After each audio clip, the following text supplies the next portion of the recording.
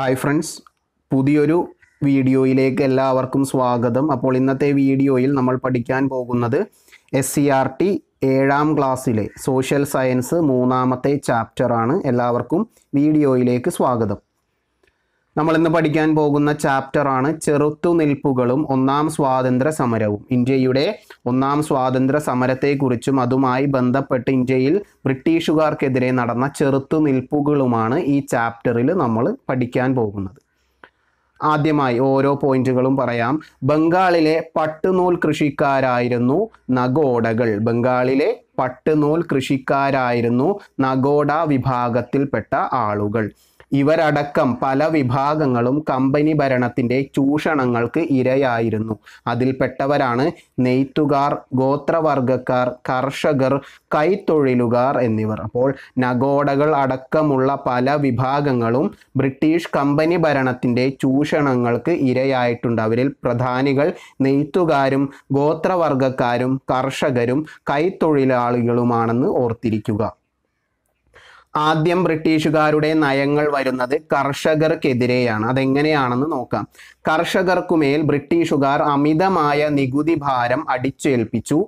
Then വരൾച്ചയോ വെള്ളപ്പൊക്കമോ മൂലം കൃഷി നശിച്ചാലും നികുതി ഇളവുകൾ നൽകിയിരുന്നില്ല. നികുതി പിരിച്ചെടുക്കാൻ ഇടനിലക്കാരെ അവരാണ് ജമീന്ദർമാർ എന്നറിയപ്പെടുന്നത്. അവരെ ചുമതലപ്പെടുത്തി നികുതി പണമായി തന്നെ നൽകണമെന്നുള്ള വ്യവസ്ഥ കൊണ്ടുവന്നു. പണത്തിനായി കർഷകർ പണം പലിശയ്ക്ക് കൊടുക്കുന്നവരെ ആശ്രയിക്കേണ്ടി വന്നു. ഈ പണം പലിശയ്ക്ക് കൊടുക്കുന്ന ആളുകളെ സാഹുക്കാർ എന്നാണ് ആ കാലഘട്ടത്തിൽ വിളിച്ചിരുന്നത്. അപ്പോൾ ഇത്തരത്തിലുള്ള നിശിതമായ കാര്യങ്ങൾ കർഷകർക്കുമേൽ അടിച്ചേൽപ്പിച്ചു ആര്? ബ്രിട്ടീഷുകാർ. കർഷകർക്കുമേൽ അമിതമായ നികുതി ഭാരം അടിച്ചേൽപ്പിച്ചു. ദെൻ വെള്ള വെള്ളപ്പൊക്കമോ വരൾച്ചയോ മൂലം കൃഷി നശിച്ചാലും നികുതി ഇളവുകൾ നൽകിയിരുന്നില്ല.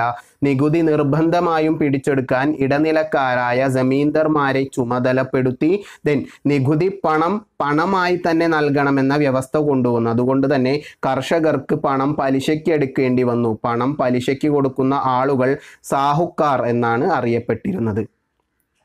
ബംഗാളിലെ മണ്ണ് പരുത്തി ചണം നീലം എന്നിവ കൃഷി ചെയ്യാൻ ഏറ്റവും അനുയോജ്യമാണെന്ന് കമ്പനിക്ക് മനസ്സിലായി. അതോടുകൂടെ പരുത്തിയും ചണവും നീലവും ഇന്ത്യയിലെ ഇംഗ്ലണ്ടിലെ വ്യവസായ ശാലകൾക്ക് ആവശ്യമായ പ്രധാന അസംസ്കൃത വസ്തുക്കളായിരുന്നു. അപ്പോൾ ബംഗാളിലെ മണ്ണ് പരുത്തി ചണം നീലം എന്നിവ കൃഷി ചെയ്യാൻ ഏറ്റവും അനുയോജ്യമാണെന്ന് ആർക്ക് മനസ്സിലായി? ബ്രിട്ടീഷുകാർക്ക് മനസ്സിലായി. ഈസ്റ്റ് ഇന്ത്യ കമ്പനിക്ക് മനസ്സിലായി. ഈ പരുത്തിയും ചണവും നീലവുമൊക്കെ ഇംഗ്ലണ്ടിലെ വിവിധ ആവശ്യങ്ങൾക്ക് ആവശ്യമായ പ്രധാന അസംസ്കൃത വസ്തുക്കളായിരുന്നു. അതുകൊണ്ട് തന്നെ പരുത്തിയുടെയും ചണത്തിന്റെയും കൃഷി വ്യാപിപ്പിക്കാൻ ബ്രിട്ടീഷുകാർ തീരുമാനിച്ചു. ഇതിനായി അവർ കർഷകരെ നിർബന്ധിച്ചു. പരമ്പരാഗതമായി ഭക്ഷണത്തിന് വേണ്ടി ഭക്ഷ്യവിളകൾ മാത്രമാണ് നമ്മുടെ കർഷകർ ഉൽപ്പാദിപ്പിച്ചിരുന്നതെങ്കിൽ ബ്രിട്ടീഷുകാരുടെ നിർബന്ധത്തിന് വഴങ്ങി അവർ പരുത്തിയും ചണവും നീലവും കൃഷി ചെയ്യാൻ നിർബന്ധിതരായി. കർഷകർക്ക് കൃഷിയിടങ്ങൾ എങ്ങനെ പയ്യെ നഷ്ടപ്പെടുകയും അവർ തൊഴിലാളികളായി മാറ്റപ്പെടുകയും ചെയ്തു. ഇനി കർഷകർക്കെതിരെ അത്രയും ദ്രോഹങ്ങൾ ചെയ്തു. ഇനി ഗോത്ര ജനതയ്ക്കെതിരെ ബ്രിട്ടീഷുകാർ ചെയ്ത ദ്രോഹങ്ങൾ എന്തൊക്കെയാണെന്ന് നോക്കാം. ഇന്ത്യയിലെ വനസമ്പത്ത് കൊള്ളയടിക്കുക എന്ന ലക്ഷ്യത്തോടുകൂടി അവർ വന നിയമങ്ങൾ ആവിഷ്കരിച്ചു. ഈ നിയമങ്ങൾ മുഖേന വനങ്ങൾ പൂർണമായും ബ്രിട്ടീഷ് അധീനതയിലായി. പരമ്പരാഗതമായി വനങ്ങളെ ആശ്രയിച്ച് ജീവിച്ചിരുന്ന ഗോത്രജനതയെ ഇത് പ്രതികൂലമായി ബാധിച്ചു. അതോടെ ഗോത്രജനതയുടെ വനവിഭവ ശേഖരണവും പരമ്പരാഗത കൃഷിരീതികളും തടസ്സപ്പെട്ടു. ഗോത്രജനതയുടെ ആവാസ മേഖല ധാതു നിക്ഷേപങ്ങളാൽ സമ്പന്നമായിരുന്നു. ഇവ ചൂഷണം ചെയ്യുന്നതിനായി റോഡ് റെയിൽ സൗകര്യങ്ങൾ വർദ്ധിപ്പിച്ചു. ഇത് ഗോത്രജനതയുടെ ജീവിതം ദുസ്സഹമാക്കി. നമുക്കറിയാം ഗോത്ര ജനത താമസിക്കുന്നത് പ്രധാനമായിട്ടും കാടുകൾ വനങ്ങൾ കേന്ദ്രീകരിച്ചാണ്. അപ്പോൾ ഈ വനങ്ങളുടെ പൂർണ നിയന്ത്രണം ബ്രിട്ടീഷുകാർ ഏറ്റെടുത്തതോടുകൂടി കൂടി ഇവരുടെ ജീവിതം തടസ്സപ്പെട്ടു. ഇവർ കാടുകളിൽ നിന്നാണ് വിഭവങ്ങൾ ശേഖരിച്ചും അവിടെ കൃഷി ചെയ്തും ജീവിച്ചുകൊണ്ടിരുന്നത്. എന്നാൽ ഈ ബ്രിട്ടീഷുകാരുടെ കൂടി അതെല്ലാം തടസ്സപ്പെടുകയും ഗോത്ര ജനതയുടെ ആവാസ മേഖല ഇവർക്ക് അവിടെ ഖനനം ചെയ്താൽ ധാരാളം ധാതു നിക്ഷേപങ്ങൾ ലഭിക്കുമെന്ന് മനസ്സിലാക്കിയതോടുകൂടെ ബ്രിട്ടീഷുകാർ ആ ഭാഗത്തേക്ക് റോഡും റെയിലും സൗകര്യങ്ങളൊക്കെ കാടിലൂടെ ഉണ്ടാക്കിയെടുത്തു. ഇത് ഗോത്ര ജനതയുടെ ജീവിതം ദുസ്സഹമാക്കി തീർത്തു. ഇങ്ങനെയാണ് ഇന്ത്യയിൽ ആദ്യമായി റെയിൽവേ ഇതിന്റെ ഭാഗമായിട്ട് തുടങ്ങുന്നത്. ഇന്ത്യയിൽ റെയിൽവേ ആരംഭിക്കുന്നത് ആയിരത്തി എണ്ണൂറ്റി അൻപത്തി മൂന്ന് ഏപ്രിൽ പതിനാറിനാണ്. അന്ന് വൈകുന്നേരം മൂന്ന് മുപ്പത്തി അഞ്ചിനാണ് ബോംബെയിൽ നിന്നും താനെയിലേക്ക് ആദ്യ തീവണ്ടി കൂകിപ്പാഞ്ഞത്. മുപ്പത്തിനാല് കിലോമീറ്റർ ആയിരുന്നു ബോംബെയിൽ നിന്നും താനെയിലേക്കുള്ള ദൂരം. പതിനാല് കോച്ചുകളുള്ള ഈ വണ്ടി നാനൂറ് യാത്രക്കാർ ഉണ്ടായിരുന്നു. അങ്ങനെ ആയിരത്തി എണ്ണൂറ്റി അൻപത്തി മൂന്ന് ഏപ്രിൽ പതിനാറിനാണ് ഇന്ത്യയിൽ റെയിൽവേ ആരംഭിച്ചത്. എന്നാൽ കേരളത്തിൽ ആയിരത്തി എണ്ണൂറ്റി അറുപത്തി ഒന്ന് മാർച്ചിൽ തിരൂരിൽ നിന്നും ബേപ്പൂരിലേക്ക് കേരളത്തിലെ ആദ്യത്തെ തീവണ്ടി ഓടി. അപ്പോൾ ഇന്ത്യയിൽ ആദ്യമായിട്ട് ആയിരത്തി എണ്ണൂറ്റി അൻപത്തി മൂന്ന് ഏപ്രിൽ പതിനാറിന് ബോംബെ മുതൽ താനെ വരെ കേരളത്തിലോ ആയിരത്തി എണ്ണൂറ്റി അറുപത്തി ഒന്ന് മാർച്ചിൽ തിരൂര് മുതൽ ബേപ്പൂര് വരെയുമാണെന്ന് ഓർത്തിരിക്കുക. ഇനി നെയ്ത്തുകാർക്കെതിരെ ബ്രിട്ടീഷുകാർ എന്തെല്ലാം പ്രവർത്തനങ്ങളാണ് നടത്തിയതെന്ന് നോക്കാം.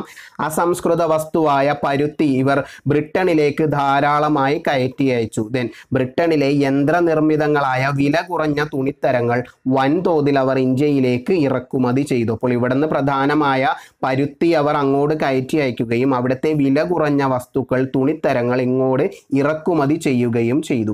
ഇന്ത്യൻ നിർമ്മിത തുണിത്തരങ്ങൾക്ക് ഉയർന്ന നികുതിയും അവർ ചുമത്തി. ഇക്കാരണത്താൽ കൈത്തറി മേഖലയിൽ നിരവധി തൊഴിലാളികൾക്ക് തൊഴിൽ നഷ്ടപ്പെട്ടു. അപ്പോൾ ഇവിടെയും നികുതി ഉയർത്തുകയും ഇവിടുത്തെ പരുത്തി അങ്ങോട്ട് കയറ്റി അയക്കുകയും അവിടുത്തെ വില കുറഞ്ഞ ക്വാളിറ്റി കുറഞ്ഞ തുണിത്തരങ്ങൾ ഇങ്ങോട്ട് ഇറക്കുമതിയും ചെയ്തു. അങ്ങനെ നിരവധി ആളുകൾക്ക് നെയ്ത്തു മേഖലയുമായി ബന്ധപ്പെട്ട് തൊഴിൽ നഷ്ടമായി. അങ്ങനെ എല്ലാവർക്കുമെതിരെ ബ്രിട്ടീഷുകാർ പ്രവർത്തിച്ചു തുടങ്ങിയതോടുകൂടെ ഇന്ത്യയിലെ ജനങ്ങൾ കലാപത്തിലേക്ക് മുന്നേറി. കമ്പനി ഭരണത്തിന്റെ ഫലമായി ഉപജീവന മാർഗങ്ങളില്ലാതായ ജനവിഭാഗങ്ങൾ കമ്പനിക്കെതിരെയും അവരുടെ ഇടനിലക്കാരായി നിന്ന ജമീന്ദർമാർക്കെതിരെയും കലാപങ്ങൾക്ക് തുടക്കമിട്ടു. സംഘടിത സ്വഭാവമില്ലായിരുന്നു എങ്കിലും ഇന്ത്യയുടെ വിവിധ പ്രദേശങ്ങളിൽ ഇത്തരം ചെറുത്തുനിൽപ്പുകൾ നടന്നിരുന്നു. സംഘടിത സ്വഭാവമില്ല എന്ന് പറഞ്ഞാൽ എല്ലാവരും ഒത്തൊരുമിച്ചല്ല കലാപങ്ങൾ നടത്തിയിരുന്നത്. ഓരോ ഭാഗങ്ങളിൽ തനിയെ തനിയെയായിരുന്നു കലാപങ്ങൾ ഉയർന്നു വന്നിരുന്നത്. കമ്പനി ഭരണം സ്ഥാപിതമായതോടൊപ്പം തന്നെ കാർഷിക കലാപങ്ങളും ആരംഭിച്ചു. ഇതിനു തെളിവാണ് പതിനെട്ടാം നൂറ്റാണ്ടിന്റെ അവസാനത്തിൽ ബംഗാളിൽ നടന്ന സന്യാസി കലാപവും ഫക്കീർ കലാപവും. അപ്പോൾ ഇതിനൊരു സംഘടിത സ്വഭാവം ഉണ്ടായിരുന്നില്ല. ഇന്ത്യയിലെ ഏതെങ്കിലുമൊക്കെ പ്രദേശങ്ങൾ കേന്ദ്രീകരിച്ചാണ് കലാപങ്ങൾ ഉണ്ടായിരുന്നത്. അതിന് ആദ്യത്തെ തെളിവുകളായിരുന്നു പതിനെട്ടാം നൂറ്റാണ്ടിന്റെ അവസാനത്തിൽ ബംഗാളിൽ നടന്ന സന്യാസി കലാപവും ഫക്കീർ കലാപവും എന്ന് ഓർത്തിരിക്കുക. പത്തൊമ്പതാം നൂറ്റാണ്ടിൽ മലബാറിലും നമ്മുടെ കേരളത്തിലെ മലബാറിലും കലാപങ്ങൾ പൊട്ടിപ്പുറപ്പെട്ടു. പാട്ടക്കുടിയാന്മാരായ മാപ്പിളമാരായിരുന്നു ഈ കലാപങ്ങൾക്ക് നേതൃത്വം കൊടുത്തിരുന്നത്. ഈ കലാപങ്ങളെ മാപ്പിള കലാപങ്ങൾ എന്ന് വിളിക്കുന്നു. ഇതേ കാലയളവിൽ ബംഗാളിൽ സമാന സ്വഭാവത്തിലുള്ള കലാപങ്ങൾ പൊട്ടിപ്പുറപ്പെട്ടിരുന്നു. ഇവ ഫറാസി കലാപങ്ങൾ എന്ന് പറയുന്നു. അപ്പോൾ നേരത്തെ പതിനെട്ടാം നൂറ്റാണ്ടിന്റെ അവസാനത്തിലാണ് പറഞ്ഞത്. ഇനി അത് സന്യാസി കലാപവും ഫക്കീർ കലാപവുമായിരുന്നു. ഇനി പത്തൊമ്പതാം നൂറ്റാണ്ടിന്റെ തുടക്കത്തിൽ കേരളത്തിലെ മലബാറിൽ രൂപപ്പെട്ട കലാപങ്ങളാണ് മാപ്പിള കലാപങ്ങൾ. കർഷകരുമായി ബന്ധപ്പെട്ടതാണ് മാപ്പിളമാരായിരുന്നു അത് നടത്തിയിരുന്നത്. അതുകൊണ്ടാണ് മാപ്പിള കലാപങ്ങൾ എന്നറിയപ്പെടുന്നത്. ഇതേ സമാന സ്വഭാവമുള്ള കലാപം ബംഗാളിലും പൊട്ടിപ്പുറപ്പെട്ടു അവയാണ് ഫറാസി കലാപങ്ങൾ എന്ന് അറിയപ്പെട്ടത്. കർഷകരെ കൂടാതെ ഗോത്രവർഗക്കാരും കമ്പനിക്കെതിരെ കലാപത്തിലേർപ്പെട്ടു. ഇത്തരത്തിൽ കലാപത്തിനിറങ്ങിയ പ്രധാനപ്പെട്ട ഗോത്ര വിഭാഗങ്ങളാണ് താഴെ പറയുന്നവർ. മറാത്തിലെ ജീലുകൾ അഹമ്മദ് നഗറിലെ കോലികൾ ഛോട്ടാ നാഗ്പൂരിലെ കോളുകൾ രാജമഹൽ കുന്നിലെ സാന്താൾമാർ വയനാട്ടിലെ കുറിച്ചർ എന്നിവർ ഗോത്ര വിഭാഗത്തിൽപ്പെട്ടവരായിരുന്നു ഇവരും ബ്രിട്ടീഷുകാർക്കെതിരെ കമ്പനിക്കെതിരെ കലാപത്തിന് പുറപ്പെട്ടു. മറാത്തിലെ ജീലുകൾ അഹമ്മദ് നഗറിലെ കോലികൾ ഛോട്ടാ നാഗ്പൂരിലെ കോളുകൾ രാജമഹൽ കുന്നുകളിലെ സാന്താൾമാർ വയനാട്ടിലെ കുറിച്യർ എന്നിവർ. എന്താണ് സാന്താൾ കലാപം എന്ന് നോക്കാം. ഗോത്ര വിഭാഗത്തിൽപ്പെട്ട ഒരു കലാപമായിരുന്നു സാന്താൾ കലാപം.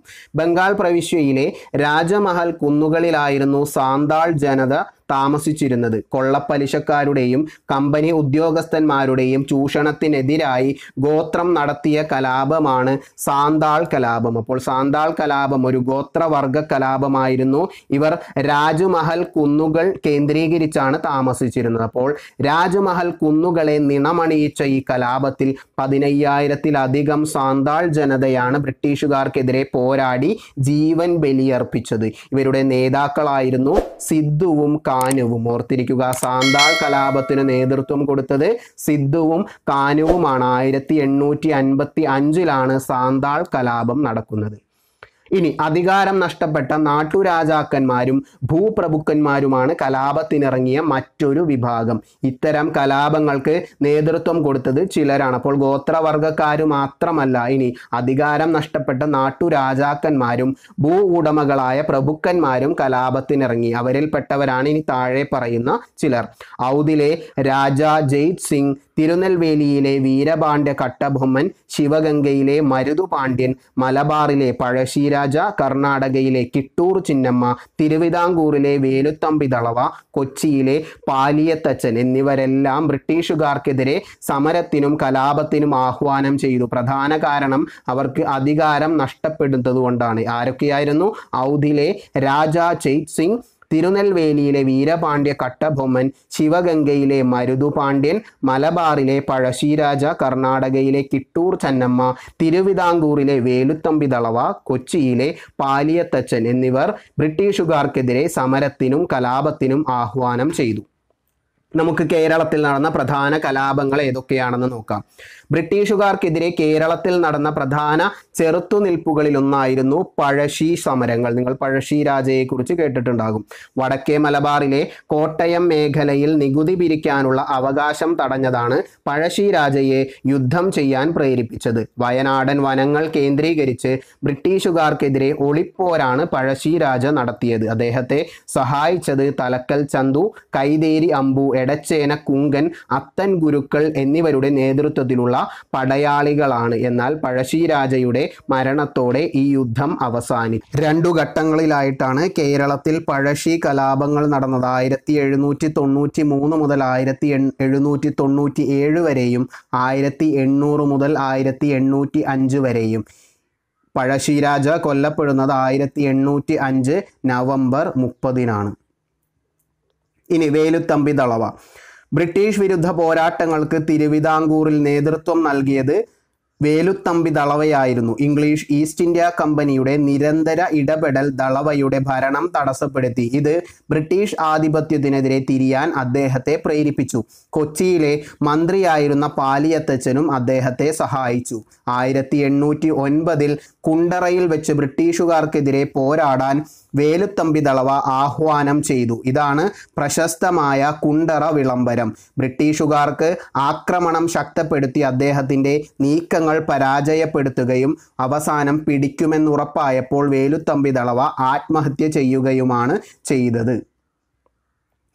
ഇതിനുശേഷമാണ് ഒരു സംഘടിത രൂപത്തിൽ ഇന്ത്യയിൽ ഒരു കലാപം പൊട്ടിപ്പുറപ്പെടുന്നത്. അതാണ് ആയിരത്തി എണ്ണൂറ്റി അൻപത്തി ഏഴിലെ ഒന്നാം സ്വാതന്ത്ര്യ സമരം. ആയിരത്തി എണ്ണൂറ്റി അൻപത്തി ഏഴിൽ കമ്പനിയോട് കൂറു പുലർത്തിയിരുന്ന വിഭാഗങ്ങൾ പോലും അവർക്കെതിരെ തിരിഞ്ഞു. കമ്പനി പട്ടാളത്തിലെ ഇന്ത്യൻ സൈനികർ ശിപ്പായിമാർ എന്നാണ് അവർ അറിയപ്പെട്ടിരുന്നത്. ദത്തവകാശ നിരോധന നിയമത്തിന്റെ ഫലമായി അധികാരം നഷ്ടപ്പെടുമെന്നുറപ്പായ നാട്ടുരാജാക്കന്മാർ എന്നിവരായിരുന്നു സമരത്തിന് നേതൃത്വം കൊടുത്തത്. അപ്പോൾ ആയിരത്തി എണ്ണൂറ്റി അൻപത്തി ഏഴിലെ ഒന്നാം സ്വാതന്ത്ര്യ സമരത്തിന് നേതൃത്വം കൊടുത്തത് കമ്പനി പട്ടാളത്തിലെ തന്നെ ഇന്ത്യൻ സൈനികരായ ശിപ്പായിമാരും ദത്തവകാശ നിരോധന നിയമത്തിന്റെ ഫലമായി അധികാരം നഷ്ടമെടുന്നു ഉറപ്പായ നാട്ടുരാജാക്കന്മാരുമായിരുന്നു. ഇനി ശിപ്പായിമാർ എന്തുകൊണ്ടാണ് കമ്പനിക്കെതിരെ സമരത്തിന് തിരിഞ്ഞത് ശിപ്പായിമാരുടെ ജീവിതം പരമദയനീയമായിരുന്നു. തുച്ഛമായ വേതനം ദീർഘനേരമുള്ള ജോലി അവർക്ക് ചെയ്യേണ്ടി വന്നു. അവധി ലഭിക്കുകയുണ്ടായിരുന്നില്ല. അടിമകളോടെന്ന പോലുള്ള മേലുദ്യോഗസ്ഥന്മാരുടെ പെരുമാറ്റം മോശമായ ഭരണം. ഈ കാരണങ്ങളെല്ലാം കൊണ്ട് ശിപ്പായിമാർ കമ്പനിക്കെതിരെ പോരാട്ടത്തിന് തയ്യാറെടുത്തു. മേൽപ്പറഞ്ഞ കാരണങ്ങളാൽ ശിപ്പായിമാർ അസംതൃപ്തരായിരുന്നു. ഈ അവസരത്തിലാണ് പട്ടാളക്കാർക്കിടയിൽ പുതിയ തരം എൻഫീൽഡ് തോക്കുകൾ വിതരണം ചെയ്തത്. ഈ തോക്കിൽ ഉപയോഗിക്കൊണ്ടിരുന്ന തിര വെടിയുണ്ട സവിശേഷതയുള്ളതായിരുന്നു. അവ നിർമ്മിക്കുന്നതിൽ പശുവിന്റെയും പന്നിയുടെയും കൊഴുപ്പുകൾ ഉപയോഗിച്ചു എന്ന വാർത്ത പ്രചരിച്ചു. കൂടാതെ ശിപ്പായിമാർക്ക് വിതരണം ചെയ്തിരുന്ന റൊട്ടി എല്ലുപൊടി ചേർത്ത ഗോതമ്പാണെന്നും വാർത്ത പരന്നു. അതോടെ സൈനികർ പ്രകോപിതരാവുകയും കലാപത്തിന് തുടക്കം കുറിക്കുകയും ചെയ്തു. ശിപ്പായികൾക്കിടയിൽ നിന്ന് ആദ്യമായി പ്രതിഷേധമുയർത്തിയത് മംഗൾ പാണ്ഡെ ആയിരുന്നു അപ്പോൾ ഈ പറഞ്ഞ കാരണങ്ങൾ കൊണ്ടാണ് ഇന്ത്യയിലെ ആയിരത്തി എണ്ണൂറ്റി അൻപത്തി ഏഴിലെ ഒന്നാം സ്വാതന്ത്ര്യ സമരം പെട്ടെന്ന് പൊട്ടിപ്പുറപ്പെടാനുണ്ടായ കാരണം ഇതിൽ ആദ്യം പ്രതിഷേധമുയർത്തിയത് മംഗൾ പാണ്ഡെയാണ്. ഇന്ത്യൻ സ്വാതന്ത്ര്യ സമരത്തിലെ ആദ്യത്തെ രക്തസാക്ഷിയും മംഗൾ പാണ്ഡെ ആയിരുന്നു. ഇനി സൈനിക മേധാവികൾക്കെതിരെ സംഘടിതമായ രീതിയിൽ കലാപങ്ങൾ ആരംഭിച്ചത് മീററ്റിലാണ് ഉത്തർപ്രദേശിലെ. മീററ്റിലാണ് കലാപങ്ങൾ ആരംഭിച്ചത്. കലാപത്തിനിറങ്ങിയ സൈനികർ ഡൽഹിയിലെത്തി അവസാനത്തെ മുഗൾ ഭരണാധികാരിയായിരുന്ന ബഹദൂർ ഷാ രണ്ടാമനെ ഇന്ത്യയുടെ ചക്രവർത്തിയായി പ്രഖ്യാപിച്ചു. അപ്പോൾ ഇന്ത്യയുടെ ചക്രവർത്തിയായി പ്രഖ്യാപിച്ചത് അവസാനത്തെ മുഗൾ ഭരണാധികാരിയായിരുന്ന ബഹദൂർ ഷാ രണ്ടാമനെയാണ്. കലാപം മീററ്റിൽ മാത്രമല്ല ഉത്തരേന്ത്യയുടെ പല ഭാഗങ്ങളിലും പൊട്ടിപ്പുറപ്പെട്ടു. അധികാരം നഷ്ടപ്പെട്ട നാട്ടുരാജാക്കന്മാരും കലാപത്തിൽ പങ്കുചേർന്നു. കാൺപൂർ ലക്നൗ അലഹാബാദ് ജാൻസി ആര ഫൈസാബാദ് തുടങ്ങിയ പ്രദേശങ്ങളിലേക്കും കലാപം പടരുകയാണ് ഉണ്ടായത്. കാൺപൂരിൽ നാനാ സാഹിബും താന്തിയ തോപ്പിയും ഝാൻസിയിൽ റാണി ലക്ഷ്മിബായ് ലക്നൌവിൽ ബീഗം ഹസ്രത്ത് മഹൽ ഫൈസാബാദിൽ മഹം മൗലവി അഹമ്മദുള്ള ആരയിൽ കൻവർ സിംഗ് എന്നിവരാണ് കലാപം നയിച്ചത്. അപ്പോൾ ഓരോ ഭാഗത്തും നേതൃത്വം നൽകിയിരുന്നത് വിവിധ ആളുകളായിരുന്നു. കാൺപൂരിൽ നാനാ സാഹിബും താന്തിയ തോപ്പിയും ഝാൻസിയിൽ റാണി ലക്ഷ്മിബായ് ലഖ്നൌവിൽ ബീഗം ഹസ്രത്ത് മഹൽ ഫൈസാബാദിൽ മൗലവി അഹമ്മദുള്ള ആരയിൽ കൻവർ സിംഗ് എന്നിവരാണ് കലാപം നയിച്ചിരുന്നത്. എന്നാൽ കമ്പനി ഈ കലാപം അടിച്ചമർത്തുകയും ബഹദൂർ ഷാ രണ്ടാമനെ അല്ലെങ്കിൽ ബഹദൂർ ഷാ സഫറിനെ റങ്കൂണിലേക്ക് മ്യാൻമറിലെ റങ്കൂണിലേക്ക് നാടുകടത്തുകയും ചെയ്തു. ഇനി എന്തുകൊണ്ടായിരിക്കാം ഒന്നാം സ്വാതന്ത്ര്യ സമരം പരാജയപ്പെട്ടത്? ഇത്തരത്തിൽ ആദ്യമായി ഇന്ത്യയിൽ ബ്രിട്ടീഷുകാർക്കെതിരെ നടന്ന ഒരു സംഘടിത കലാപമായിരുന്നു ഒന്നാം സ്വാതന്ത്ര്യ സമരം ആയിരത്തി എണ്ണൂറ്റി അൻപത്തി ഏഴിലേത് എന്നാൽ ബ്രിട്ടീഷുകാർ ഇത് അടിച്ചമർത്ത ചെയ്യുകയാണ് ഉണ്ടായത്. എന്തുകൊണ്ടാണ് അങ്ങനെ അടിച്ചമർത്താൻ അവർക്ക് സഹായകരമായത്? ഉത്തരേന്ത്യയിൽ മിക്ക സംഭവങ്ങളിലും സ്ഥലങ്ങളിലും കലാപങ്ങൾ ഉണ്ടായെങ്കിലും ഇതിനൊരു സംഘടിത സ്വഭാവം ഉണ്ടായിരുന്നില്ല. കലാപകാരികളെ അപേക്ഷിച്ച് സൈനിക ശേഷിയും സംഘാടന മികവും മെച്ചപ്പെട്ട ആയുധങ്ങളും ബ്രിട്ടീഷ് ഈസ്റ്റ് ഇന്ത്യ കമ്പനിക്കുണ്ടായിരുന്നു. ഇന്ത്യക്കാരിൽ എല്ലാ വിഭാഗങ്ങളുടെയും പിന്തുണ നേടുന്നതിൽ കലാപകാരികൾ പരാജയപ്പെട്ടു. ഇംഗ്ലീഷ് വിദ്യാഭ്യാസം നേടിയ ഇന്ത്യക്കാർ സമരത്തിനെതിരായിരുന്നു. സമ്പന്നരായ നാട്ടുരാജാക്കന്മാർ കമ്പനിക്കായിരുന്നു പിന്തുണ നൽകിയിരുന്നത്. അപ്പോൾ ഇതൊക്കെയാണ് ഇന്ത്യയിൽ ഒന്നാം സ്വാതന്ത്ര്യ സമരം പരാജയപ്പെടാനുണ്ടായ പ്രധാനപ്പെട്ട കാരണങ്ങൾ. മാത്രമല്ല ഉത്തരേന്ത്യയിൽ മാത്രമാണ് ഇത്തരത്തിൽ കലാപം നടന്നിരുന്നത്. താഴെ ചെന്നൈ അല്ലെങ്കിൽ മദ്രാസ് ബോംബെ പഞ്ചാബ് പോലുള്ള പ്രവിശ്യകളിൽ ഒന്നാം സ്വാതന്ത്ര്യ സമരം എത്തിപ്പെട്ടിരുന്നില്ല. ആ ഭാഗങ്ങളിൽ ഇതിനൊരു എഫക്റ്റും ഉണ്ടാക്കാൻ സാധിച്ചിരുന്നില്ല. അപ്പോൾ ചിത്രത്തിലേക്ക് നോക്കുക. ഇത്രയും ഭാഗങ്ങളിൽ മാത്രമാണ് ഒന്നാം സ്വാതന്ത്ര്യ സമരത്തിന്റെ അലയൊലികൾ ഉണ്ടായിരുന്നത്. മീററ്റ് അവധ് ഫൈസാബാദ് കാൺപൂർ ഝാൻസി തുടങ്ങി ഇന്നത്തെ മധ്യപ്രദേശ് ഉത്തർപ്രദേശ് ബീഹാർ ബംഗാൾ എന്നീ ഭാഗങ്ങളിൽ മാത്രമാണ് ഒന്നാം സ്വാതന്ത്ര്യ സമരം പ്രധാനമായിട്ടും നടന്നത്. അതുകൊണ്ട് തന്നെയാണ് ഇത് ബ്രിട്ടീഷുകാർക്ക് പെട്ടെന്ന് അടിച്ചമർത്താൻ സാധിക്കുകയും ചെയ്തത്. പ്രത്യക്ഷത്തിൽ സമരം പരാജയപ്പെട്ടെങ്കിലും കമ്പനി ഭരണത്തിനെതിരെ നാടിന്റെ മോചനത്തിനായുള്ള ആദ്യത്തെ ബഹുജന സമരമായിരുന്നു ആയിരത്തി എണ്ണൂറ്റി അൻപത്തി ഏഴിലെ ഒന്നാം സ്വാതന്ത്ര്യ സമരം. അതുകൊണ്ട് തന്നെയാണ് ഇവ ഇന്ത്യയുടെ ഒന്നാം സ്വാതന്ത്ര്യ സമരമായി ഈ സമരത്തെ നാം കണക്കാക്കുന്നത്. കലാപത്തിന്റെ ഏറ്റവും വലിയ ശക്തി മതത്തിനതീതമായി ഇന്ത്യൻ ജനതയെ ഉയർത്തിയ ഐക്യബോധമായിരുന്നു. മതം നോക്കാതെ ബ്രിട്ടീഷുകാർക്കെതിരെ ഐക്യബോധത്തോടുകൂടി ഇന്ത്യൻ ജനത നിലനിന്നു. ബഹദൂർ ഷായെ ഷാഹിൻ ഷാഹി ഹിന്ദുസ്ഥാൻ ഇന്ത്യയുടെ ചക്രവർത്തിയായി പ്രഖ്യാപിക്കാൻ ശിപ്പായിമാരെ പ്രേരിപ്പിച്ചതും ഈ ഐക്യമായിരുന്നു. മതസ്പർദ്ധ വളർത്താൻ ബ്രിട്ടീഷുകാർ നടത്തിയ ശ്രമങ്ങൾ കലാപകാലം വരെ വിജയിച്ചില്ല എന്നതും ഈ സംഭവങ്ങളിൽ നിന്നും വ്യക്തമാകുന്നു. എന്നാൽ ഇതിനുശേഷം പ്രധാനപ്പെട്ട ഒരു മാറ്റം ഈസ്റ്റ് ഇന്ത്യ കമ്പനിയുടെ ഭരണത്തിലുണ്ടായി. കാരണം ഈ സമരത്തോടുകൂടെ ഈസ്റ്റ് ഇന്ത്യ കമ്പനിയുടെ കയ്യിൽ നിന്നും ഭരണം ബ്രിട്ടീഷ് രാജ്ഞിയുടെ കൈകളിലേക്ക് എത്തുന്നു. ആയിരത്തി എണ്ണൂറ്റി അൻപത്തി ഏഴിലെ ഒന്നാം സ്വാതന്ത്ര്യ സമരത്തിന് ശേഷം ഇന്ത്യയുടെ ഭരണ സംവിധാനത്തിൽ മാറ്റം വരുത്തി ഭരണം ബ്രിട്ടീഷ് രാജ്ഞിയുടെ കൈകളിലെത്തുകയാണ് ചെയ്തത്. ബ്രിട്ടീഷ് രാജ്ഞിയുടെ ആയിരത്തി എണ്ണൂറ്റി അൻപത്തി എട്ടിലെ വിളംബരത്തോടുകൂടി ഇംഗ്ലീഷ് ഈസ്റ്റ് ഇന്ത്യ കമ്പനിയുടെ ഭരണം ഇന്ത്യയിൽ അവസാനിച്ചു. അതോടുകൂടെ ഇന്ത്യയുടെ ഭരണം ബ്രിട്ടീഷ് രാജ്ഞിയുടെ നേരിട്ടുള്ള ഭരണത്തിലായി. അപ്പോൾ ഇത്രയുമാണ് പ്രധാനപ്പെട്ട പോയിന്റുകൾ ഈ ചാപ്റ്ററിൽ പറഞ്ഞത്. നമ്മൾ എന്തൊക്കെയാണ് പഠിച്ചത്? ആദ്യം ബ്രിട്ടീഷുകാർ ഇന്ത്യയിൽ നടപ്പാക്കിയ നയങ്ങൾ വിവിധ വിഭാഗത്തിൽപ്പെട്ട ജനങ്ങളെ എങ്ങനെയെല്ലാം ദുരിതത്തിലാക്കി? കർഷകരെയും നെയ്ത്തുകാരെയും ഗോത്രവർഗക്കാരെയും ഒക്കെ അവരുടെ നയങ്ങൾ എങ്ങനെയാണ് ദുരിതത്തിലാക്കിയതെന്ന് പഠിച്ചു. ദെൻ യാതനകൾ നേരിട്ട കർഷകർ കരകൗശല തൊഴിലാളികൾ പ്രഭുക്കന്മാർ ഗോത്രവർഗക്കാർ രാജാക്കന്മാർ എന്നിവർ ബ്രിട്ടീഷുകാർക്കെതിരെ കലാപങ്ങൾ നടത്തി. നമ്മൾ പഠിച്ച വിവിധ സമരങ്ങൾ ഫറാസി സമരങ്ങൾ ദെൻ ഫക്കീർ കലാപങ്ങൾ കേരളത്തിൽ പഴശ്ശിരാജയുമായി ബന്ധപ്പെട്ട കലാപങ്ങൾ ദെൻ വേലുത്തമ്പി ദളവയുടെ കുണ്ടറ വിളംബരം എന്നിവയെല്ലാം ബ്രിട്ടീഷുകാർക്കെതിരെ നടന്ന കലാപങ്ങൾക്ക് ഉദാഹരണമാണ്. ദെൻ അതിനുശേഷമാണ് ഇന്ത്യയിൽ ആദ്യമായി ഒരു സംഘടിത സമരം ബ്രിട്ടീഷുകാർക്കെതിരെ ഉത്തരേന്ത്യയിൽ നടക്കുന്നത് ഒന്നാം സ്വാതന്ത്ര്യ സമരം. അതിനുശേഷം ഇന്ത്യയുടെ ഭരണം ഈസ്റ്റ് ഇന്ത്യ കമ്പനിയിൽ നിന്നും ബ്രിട്ടീഷ് ഗവൺമെന്റ് ഏറ്റെടുത്തു. അപ്പോൾ ഇത്രയുമാണ് പ്രധാനപ്പെട്ട പോയിന്റുകൾ നമ്മൾ പഠിച്ചത് ഈ ചാപ്റ്ററിൽ നിന്നും വ്യക്തമായി എന്ന് വിശ്വസിക്കുന്നു. എന്റെ വീഡിയോസ് ഇഷ്ടമാകുന്നുണ്ടെങ്കിൽ ചാനൽ സബ്സ്ക്രൈബ് ചെയ്യുക ഷെയർ ചെയ്യുക. മറ്റൊരു വീഡിയോയുമായി കാണാം താങ്ക്